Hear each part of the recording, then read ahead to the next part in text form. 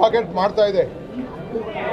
ಸಾಮಾನ್ಯ ಜನರ ಬದುಕು ಯಾರಿಗೂ ಸಂಬಳ ಜಾಸ್ತಿ ಆಗಲಿಲ್ಲ ಪೆನ್ಷನ್ ಜಾಸ್ತಿ ಆಗಲಿಲ್ಲ, ಯಾರಿಗೂ ಪರಿಹಾರ ಕೊಡಲಿಲ್ಲ. ಆದರೂ ಕೂಡ ನಮ್ಮ ಇಂಟರ್ನ್ಯಾಷನಲ್ ಆಯಿಲ್ ಪ್ರೈಸ್ ಕಡಿಮೆ ಇದ್ರೂ ಕೂಡ ನೂರಾರು ರೂಪಾಯಿ ಎಲ್ಲ ಪದಾರ್ಥಗಳಿಗೂ ಜಾಸ್ತಿ ಆಗಿದೆ. ಇವತ್ತು ಪೆಟ್ರೋಲು ನೂರು ಮೇಲೆ ಆಗೋಯ್ತು ಡೀಸೆಲ್ಲು ನೂರು ಮುಟ್ತು.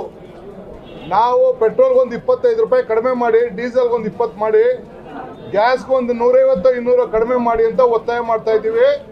ಮತ್ತು ಬೇರೆ ಎಲ್ಲ ಬೆಲೆಗಳು ಏನಿದೆ, ಆ ಬೆಲೆಗಳಿಗೆ ಶೇಕಡ ಇಪ್ಪತ್ತರಷ್ಟಾರು ಕಡಿಮೆ ಮಾಡಬೇಕು.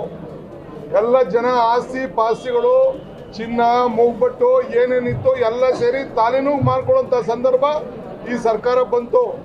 ಕೋವಿಡ್ ಸಂದರ್ಭದಲ್ಲಿ ಒಬ್ರಿಗೂ ಪರಿಹಾರ ಕೊಡಲಿಲ್ಲ. ಹಾಸ್ಪಿಟ್ಲ್ ಬಿಲ್ ಕೊಡಲಿಲ್ಲ, ಫ್ರೀ ಬಿಲ್ ಇಲ್ಲ.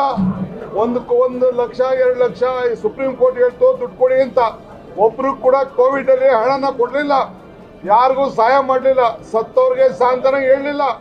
ಅವ್ರ ಮನೆಗೆ ಹೋಗಲಿಲ್ಲ, ಧೈರ್ಯ ತುಂಬಲಿಲ್ಲ. ಇಂಥ ಎಲ್ಲ ಅನಾಹುತ ಈ ದೇಶದಲ್ಲಿ ನಡೀತಾ ಇದೆ. ಜನರಿಗೆ ಗಮನ ಸೆಳಿಬೇಕು. ಜನರ ಧ್ವನಿಯಾಗಿ ಇವತ್ತು ನಾವೆಲ್ಲ ಸೇರಿ ಕೆಲಸ ಮಾಡ್ತಾ ಇದ್ದೇವೆ. ಅವರ ವಿಚಾರ ಒಳಗಡೆ, ಹೊರಗಡೆ ಜನರ ಮಧ್ಯೆ ಎಲ್ಲರೂ ಕೂಡ ನಾವು ತಿಳಿಸುವಂಥ ಕೆಲಸ ನಾವು ಮಾಡ್ತೇವೆ. ಇವತ್ತು ನಾವು ಸೈಕಲ್ನಿಂದ